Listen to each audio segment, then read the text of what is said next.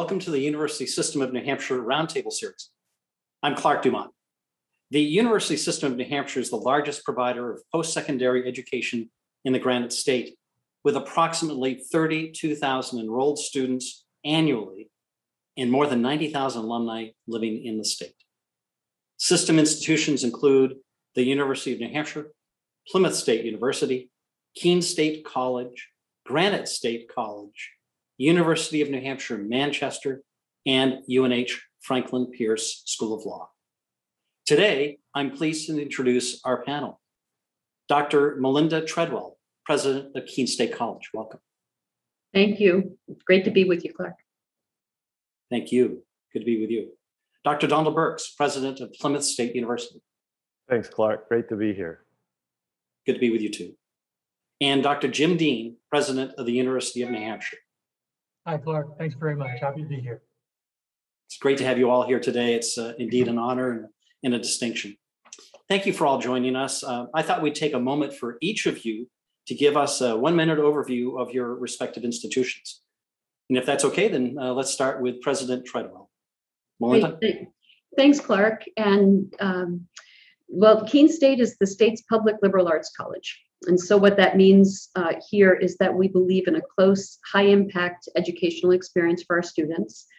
Uh, we hold our history, we commit ourselves to preparing the future leaders and critical thinkers. And so, we prepare teachers, scientists, artists, producers, performers, musicians. We also produce uh, some interesting degrees like safety professionals, um, nurses, therapists, legal scholars, and historians, just to name a few. Uh, our students join a community at Keene. We share a main street with the city of Keene, which we'll talk more about today. Uh, it's a beautiful community, an incredible place to learn, and an incredible place to work. And I'm thrilled to be here with my colleagues uh, as we help support the state and its public educational needs. Wonderful. Don. Thanks, Clark. Each of our institutions, and that's a great thing about New Hampshire, are located in a really interesting part of the state. And PSU has the opportunity to be at the gateway to the White Mountains, but also at the northern part of the Lakes region. So a lot of activities for the outdoors. Uh, we have skiing, hiking, we have a, a facility for uh, ice hockey, we've got kayaking, boarding, uh, and we have a great uh, outdoor adventure program, which takes advantage of that, and students participate from all different majors. Now we have 45 majors and at the undergraduate level and about 20 at the graduate level, but we're really trying to organize into seven clusters. And those clusters focus on everything from innovation and entrepreneurship to exploration and discovery and all our majors are organized within those clusters. And when you first get here, you'll take a class, you know, solving a wicked problem. Goal really is to take on something that is tough to solve, that you have to work across disciplines, that you have to work with each other, and you have to employ the skill sets that you develop in working in teams. And then you build on that throughout your uh, career here. One of the most interesting majors we have is an interdisciplinary studies major where you can construct your own major out of anything that you want and we just added a climate studies major. So real breadth of background. I mm-hmm. think it's exciting to have both the outdoor activities that you can participate in and also the in-class activities. Small classes, dedicated faculty, a very friendly, uh, close environment situated right at the base of the mountains. Thank you, Don. And Jim Dean. Clark. Well, as Don said and Linda said as well, I think the different institutions complement each other very well. Um, UNH is a research institution. We generate over $100 million a year in research grants uh, from the federal government primarily, but from other sources as well, something we're really proud of. And uh, we're what's known as a Research One institution, which puts us in the group of the highest, most uh, effective and active research universities in the country.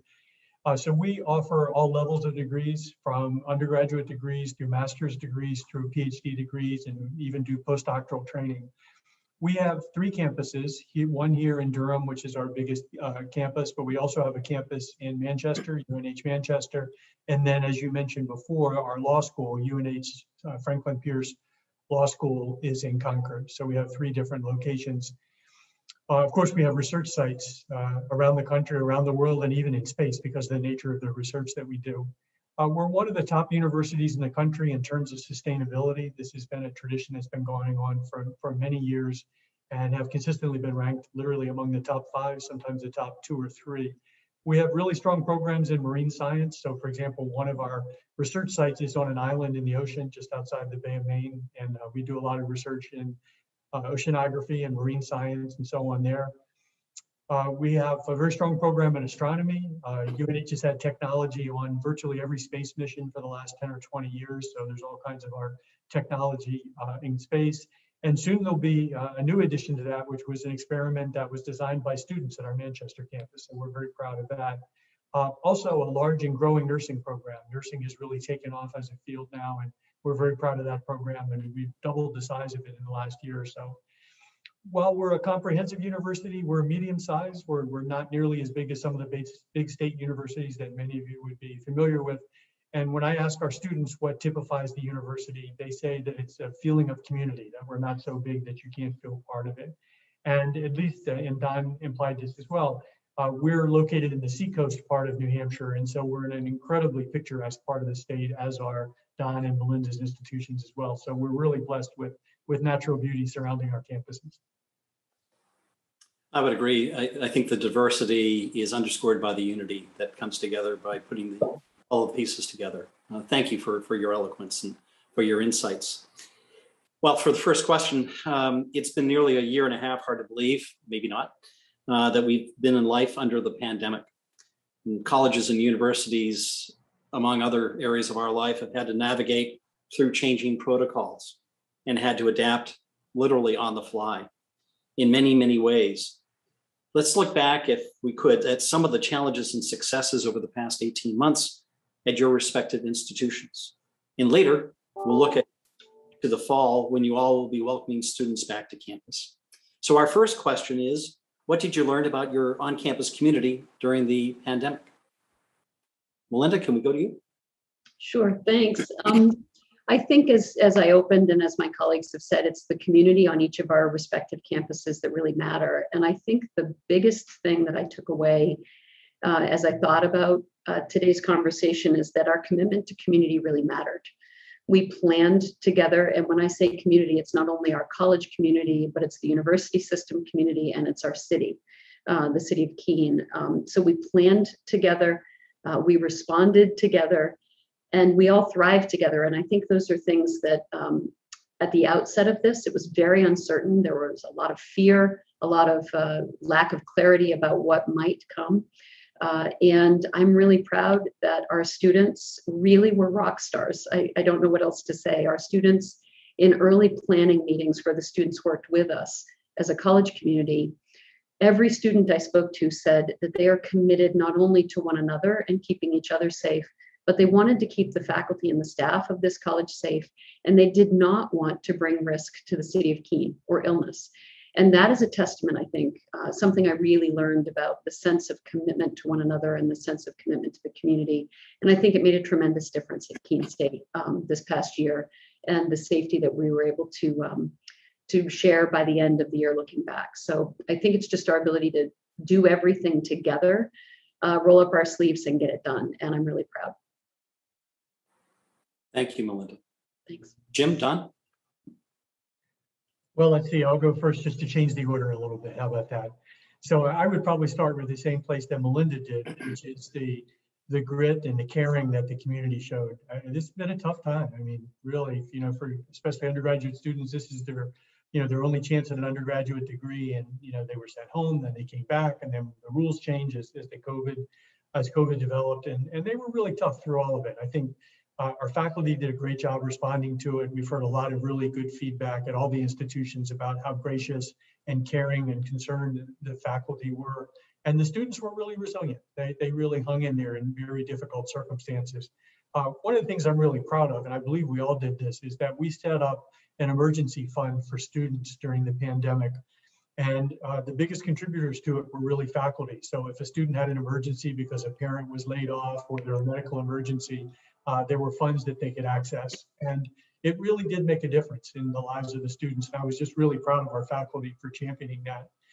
Uh, the other thing I think we learned is how important the leadership team is during a crisis. And I was really proud of how our team responded. It's it's too late to try and do some kind of organizational development and build a team at that point. So you're, as Donald Rumsfeld said, you go to war with the team that you have, more or less. And we had a wonderful team, and uh, people did a great job. And you know, Don and Melinda, I'm sure can say the same things. In the early days of COVID, we were meeting seven days a week, and sometimes more than once a day. And so any strains on a team are really going to show up pretty quickly in, in that environment.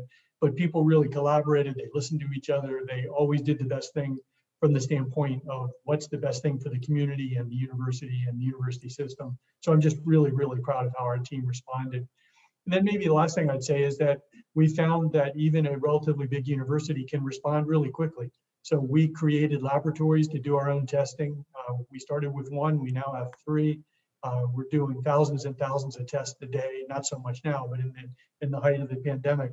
And we're really uh, just pleased and happy and it was able, we were able to keep the campus safe because of the level of testing we did. So lots to be proud of there. Thank you, I think- Yeah, go ahead. Uh, Thanks, Clark. I think the thing that struck me beyond what just uh, Melinda and Jim said, which I think were all high points of the uh, discussion that went on and, and the preparation for the uh, COVID uh, uh, reaction, uh, what we had to do. I thought that what all the campuses showed, and, and it was something that we were not often talked about or given credit for, is the tremendous adaptability of both the students and the faculty to the situation that was changing dynamically just about every day. And I think, you know, we had, everybody had challenges at one point along the way, but I think we learned a lot from each other. We worked together as a team, as, as we mentioned before. We had great support from the board in that all our classrooms became outfitted with uh, the ability to function in hybrid mode or online mode or uh, totally in person. So, and we bring that capability forward. So we not only learned how to be creative and adaptive in a setting that was really challenging almost every day, and we do, and doing that together in a team environment, but we also have built an environment that I think is stronger for the future ahead.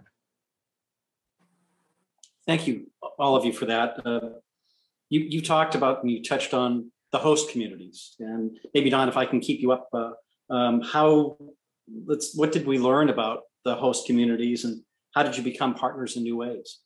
We, you know, it was interesting. I, somebody brought up this phrase while we were in the midst of this, and they said, as a community, we've never felt closer before. And, and in a way, it was really true because we had to function together in ways that supported each other. We both needed each other in very clear ways throughout this uh, pandemic. And I think it started right at the beginning. We had constant meetings between the uh, town board and ourselves working together to how to, to, to make things so that they were the best for the whole community. We worked together on passing mask ordinances. Uh, we had a big Zoom meeting where people from all over tuned in and we talked with them and we, we went over our plan and, you know, it was really a good feedback in which we counted on each other through the whole process to do what we needed to have done and it emerged to the end in a great success. And I think, I think as a community, it brought us closer together, and we grew to know that we could handle almost anything. That's terrific. Jim, your observations and learnings.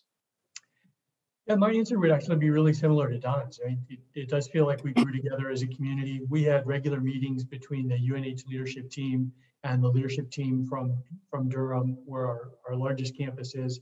Uh, we had lunches together for quite some period of time. Then when uh, conditions changed, we had Zoom meetings together for a while. We coordinated on expectations, so we had the same signs in the town of Durham that we did on campus.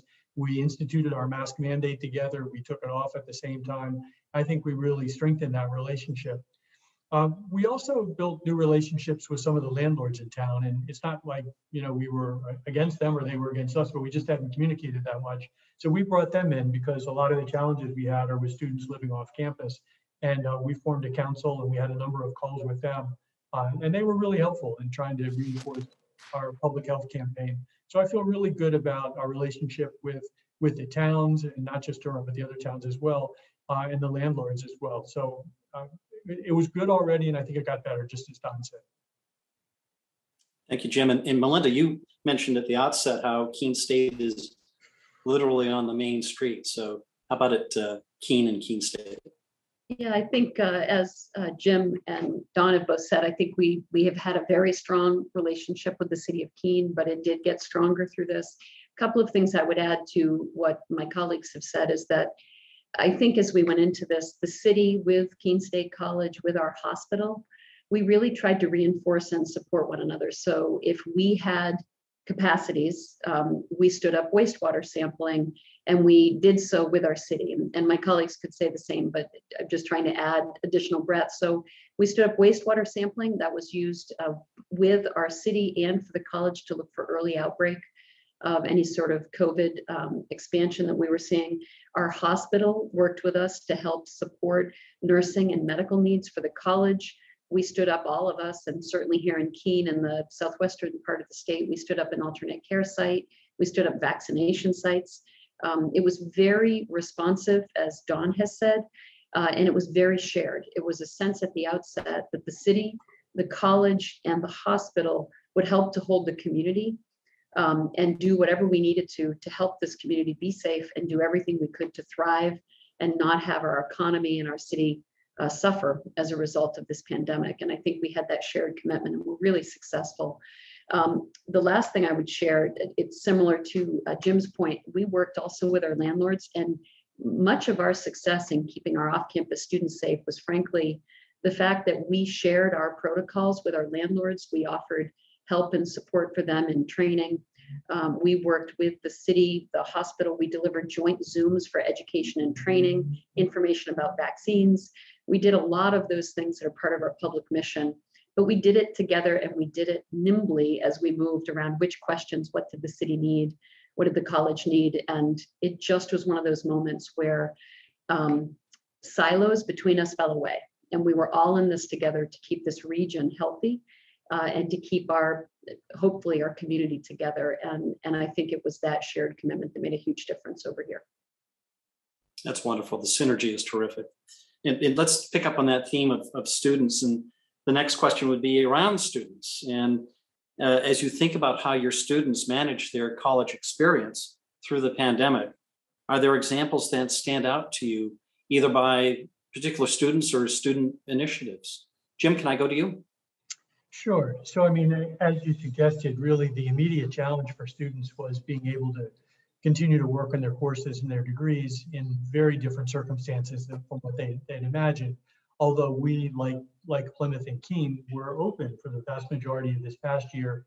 The previous spring, when COVID started, everything was remote, and we had some remote classes throughout the last year. So students had to sort out, for example, how to do labs remotely, and our faculty were very clever about figuring out how to do things uh, using Zoom and using kits that they sent home and so on.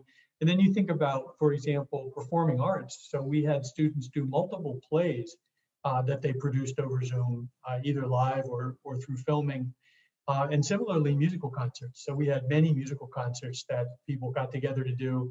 Uh, you know, I, I played one time with our band, and gosh, they were all wearing masks that were adapted for the musical instruments. It was just really innovative the way that they came up with these things. I don't know if they have patents on any of them, but I hope I hope that they do.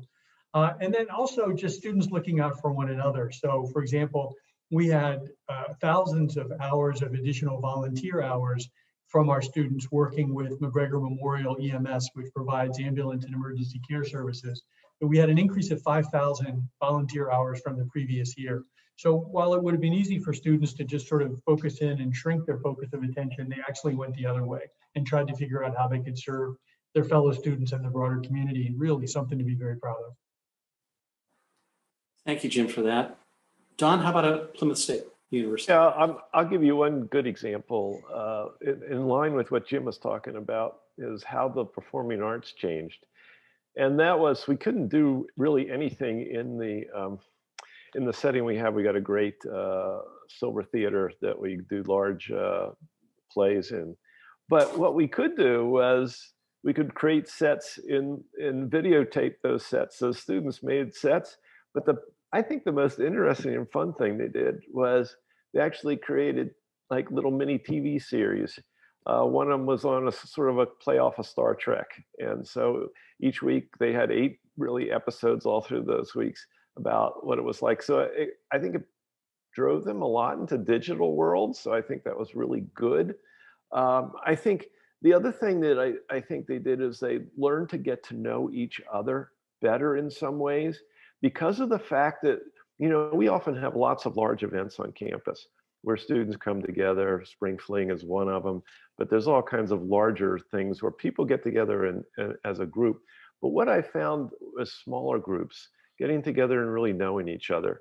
And I think that if there was anything that we're going to try to emphasize as we go forward is sort of that positive aspect that students picked up and started themselves, which was really get to know those around you well and carry those friendships forward, as well as the larger activities. So I think they showed a great adaptability. Uh, I think I think it was tough, and I think if anybody says it wasn't tough on students, uh, they're just they just don't know what those students went through. And I think as as as Jim and Melinda mentioned, we really felt for our students. I think the great thing was about how clever they came up with so many different ways to both improve their social life and to enact and do things that impact their future careers in ways that they learned and grew in. So some, you know, there weren't many positives you sometimes think when you get away from this, but there were a lot of things if you go in depth on it and look at it and you say, wow, you know, as a community, we really learned a lot and our students did and we did.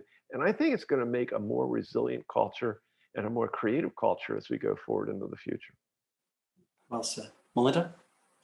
I would just add to what Jim and Don said. Um, was really impressed with the curricular innovation that our students did to kind of create the same experience, but to do so in digital space. And I think that was really exciting. I think some things that specifically stood out for me from our students this past year was we had a lot of concern and our students had a lot of concern about their peers their classmates and this sense of isolation, particularly the new students to our community.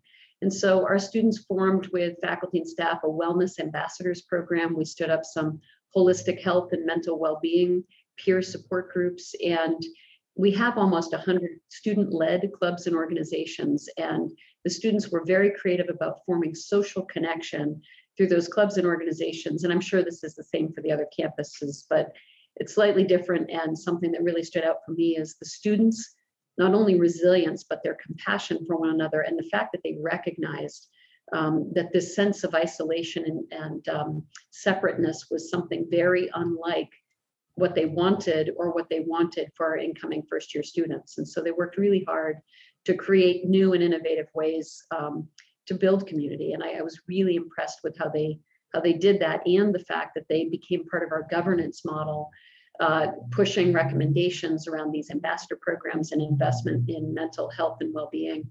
Um, and we supported those because they were so well thought out and really well developed. So uh, really proud of how the students created this resiliency. And, and I'm sure, as Don said, this will carry us forward and them forward in very strong ways, which I'm really excited to see where we go from here. That's terrific. And maybe if I can pick up on, on the theme with our next question, um, higher ed education leads us to awareness and continuous improvement. Um, and so what are some of the changes or innovations to processes or policies or otherwise um, that your institution made as a result of the pandemic that you plan to continue uh, permanently? And maybe Melinda, can we come back to you since you uh, you chatted about innovation? Sure. So um, a couple of things. I think in our uh, some major areas where we're going to continue to see change. I think what the pandemic did for us, we've been hearing around disruptive innovation, right, and changes to higher ed. I think what the pandemic taught us is that first and foremost, the students who choose any of our campuses want that residential experience. They want to be part of a community and they want to be in our labs, classrooms, and performance venues. That came through very clearly. However, I think what the pandemic taught us, as both Jim and Don have spoken to, um, is the ability for us to neither live in an online or a place-based environment, to recognize that learning and creativity can happen anywhere and how do we uh, integrate that? So I think we're having a lot of discussions about how to think about learning happening in many different ways, uh, in many different environments. And I think that's a major element of innovation and frankly, transformation for the university system that I'm excited to see where we will go as a result of the learnings through the pandemic. And I, I think the other thing I would, would share is that um, our clinical programs, one of the things that we have come to expect is that you need to be in the clinical environment to build the skills that you need. And so nursing comes to mind. Um, and there was a lot of concern about being in a virtual environment. And in fact, what we've learned is that our students with virtual simulation can actually gain deeper skill sets because they're not being told what they should be hearing and trying to listen for that. They're actually modeling what the sound of the, the spleen is, for instance, blood flow around the spleen. It's modeled for them in a virtual display. And that learning, our students believe, was far more profound in the virtual augmented labs. And then they could reinforce it in the three dimensional clinics.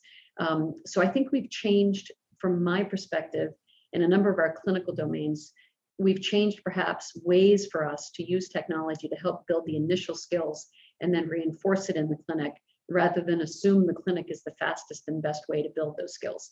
That's very different when we think about particularly healthcare and some other areas of clinical intervention. Um, so I think those are the two biggies that I would offer. That's terrific. Jim, can I come to you? Sure. Um, I think Melinda has really eloquently talked about the nature of education, and uh, I can't really add anything there. I think we've all learned uh, a lot about how teaching and learning go on, and we're really proud of what we've learned. Uh, on a little bit of a different front, we've certainly also found out that our employees can work in a variety of different ways. So we've had most of our, many of our employees uh, working from home during the pandemic.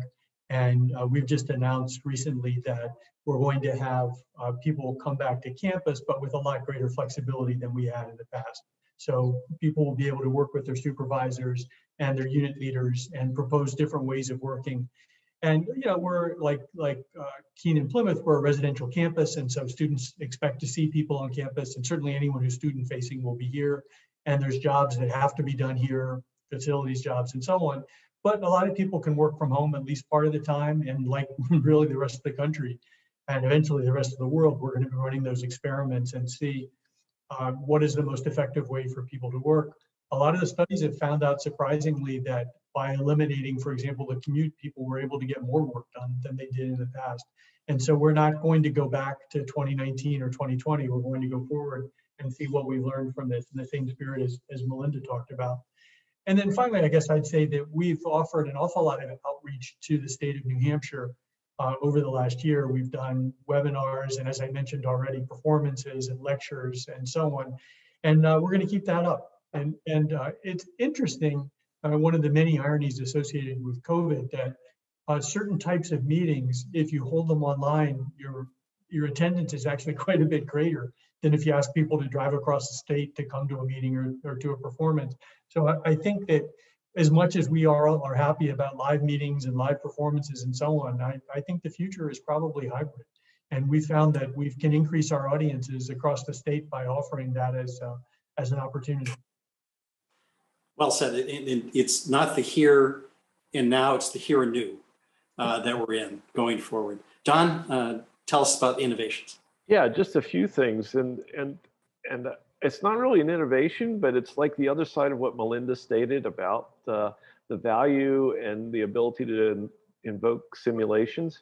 The other side I think we learned is how many ways we can actually involve students in solving problems that are actually happening in the real world and how involved students are. Like we had wicked problems doing working with the pandemic. We had nursing students that were out in the front lines, uh, giving vaccinations, getting involved. They even got uh, basically their licenses early or at least a, an approval to be able to be out there and doing that. We have physical therapists that were involved in all kinds of activities. It, it was just, it was a, a way to really say, not only is there the simulation tool that's that we're really getting, but we're also the innovation in opening up the campus to the world in such a way that the students are really heavily engaged in it. I think the other thing is it pushed us really a long way into the digital world, whether it's workers working remotely or it's students in hybrid environments in classrooms or online all the time. So I think it, you know, it did a lot of things where it pushed boundaries and, and where we were on the verge of something, it maybe pushed us over that. Uh, so I think it's really changing education. And I think a lot of those changes are really for the better. And I think it also changes the work environment, as Jim was mentioning. So um, that's kind of the way I look at it. Well, I'm, I'm reminded um, that it's, it's not what we know, it's what we don't know. Uh, And it's not what we do in good times that define us, it's what we do in times that are challenging and adverse uh, that define us. And Most so I'm going to now move to the last question. I'm going to use that, uh, a new pandemic term. Uh, We're going to pivot. Uh, And so looking ahead, uh, what is your vision and hope for the new school year, which is just a few short weeks away, uh, as you start to welcome students and faculty uh, back to, uh, back to campus? Um, Melinda, may we start with you at Keene? Sure, thanks. Um, well, I wish I could say that I, COVID's behind us, but it's not going to be. So I think I'll start there saying that we'll continue to have plans that are in place to ensure the safety of our students, our faculty, our staff, our community.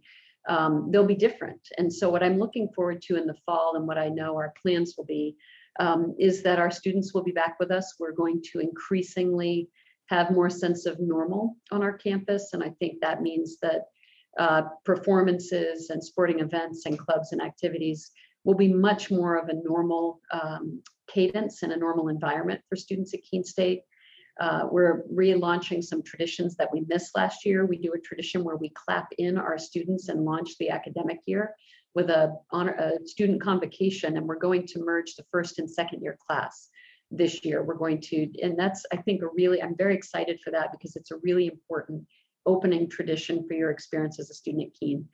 Um, we will still have some of our protocols in place. I think that's just part of what the next year will bring. But we've learned so much, and as we've spent these last uh, minutes talking about, we're ready for it. Um, and I know our students are ready to come back and be the rock stars they were this past year. So looking forward to it and, and uh, expect good things.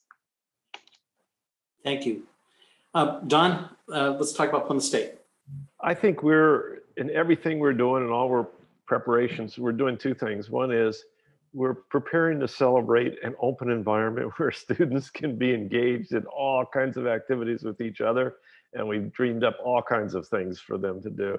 But we're also celebrating that we're going to be able to carry a lot of the things that we've learned through the pandemic a lot of the student engagement activities with each other, the gaming things, the alternative. We had a big thing on video uh, virtual bingo that the students just loved. We would have never guessed it. I mean, all kinds of different programming environments that cover both the digital world and the in-person world. So we're kind of excited to be able to be all together, to see each other, just the the sense of community that builds when you can actually see people without a mask on their face. Um, we're prepared for the worst, the Delta variant, the Gamma variant. We don't know what's going to happen. But on the other side of it, we've been through that. We know how to deal with it. And it's going to be so great to see everybody in person and students all around. We've had a lot of orientation sessions the last couple of weeks, and it has just been fantastic. Everybody's commented how great this is uh, to be all together again, celebrating and really appreciating. And I think we're going to appreciate that more than we ever did before. So we're excited. Thanks, Don. Jim, I suspect that you're looking forward to pent up enthusiasm and energy coming back to the campus in Durham. Yes, indeed. Just just the same as my colleagues have, have talked about uh, having lots of things more open, being in person. Uh, again, with lots of hybrid opportunities as well, but the opportunities to, to be in person with one another. Uh, we do a similar sort of welcome to campus ritual that we've been very happy to do over the last uh, couple of months for new students. And maybe if I were just going to call out one thing, it would be that we'll be happy to have sports back. I mean, sports were really difficult. Intercollegiate sports, we've all been down some dark roads with that over the last couple of years, but we're really hoping that our sports teams will all be back. I mean, uh, fall brings us football, men's and women's soccer. Shortly after that, men's and women's hockey and basketball, skiing a little bit after that. So it really adds a sort of a livelihood, liveliness to camp to campuses, and uh, really a, a point for students to rally around. And we're really hoping that's going to come back this year. Um, and I know I'm speaking for Melinda and Don when I say that all of this is made possible by students getting vaccinated, and that that's really our our plea for students is to make sure that they get those vaccines because that's going to be the difference between safety and health on campuses versus not having it. So we continue to implore students to please get those vaccines done. Well, I, I want to thank you. What I've, what I've heard is inspiring. Um, I've heard about resiliency. I've heard about innovation. I've heard about growth. I've heard about creativity, and I've heard about community. Uh, and I've heard about diversity of campuses, and I've heard about diversity of, of areas of study, but I've also heard about unity um, and uh, driving toward uh, excellence and, uh, and improvement in innovation. So, uh, Dr. Dean and Dr. Birx, uh, Dr. Treadwell, um, Don and uh, Jim and Melinda, uh, I want to thank you again for joining us today. And best wishes to you and to your colleagues and to your students and all of the staff support you and help you to get what you get done and, and how you lead them for a successful year ahead. And thank you all for watching today, uh, this President's Roundtable. Uh, for more information on the University System of New Hampshire, please visit usnh.edu backslash yours.